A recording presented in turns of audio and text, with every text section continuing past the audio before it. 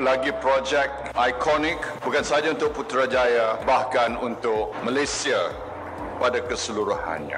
My Expo jika dicantumkan dengan PICC akan merupakan pusat MICE yang terbesar di Asia Tenggara. Di mana kita sedia maklum MICE ni merupakan sebahagian daripada strategi untuk kita mengembangkan bidang pelancongan negara.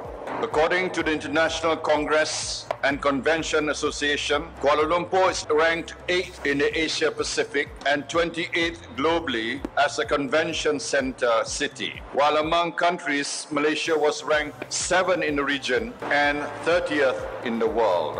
I am sure that my expo will enhance those figures still further. The convention center itself will have a total gross area of 1.5 million square feet, while MyExpo city will cover 4 million square feet, including parks and both a four-star and a five-star hotel.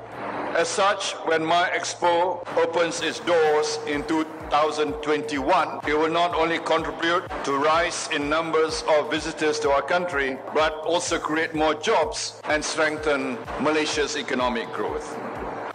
All of which will make MyExpo not only an iconic establishment, but a key attraction as a destination for conferences and exhibitions nationally, regionally, and internationally.